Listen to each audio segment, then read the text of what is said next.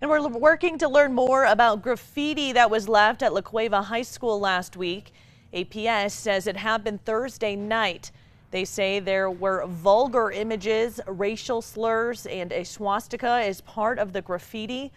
Cleanup has happened, and they did not have a cost for the damage. APS said police were informed but do not have any suspects yet.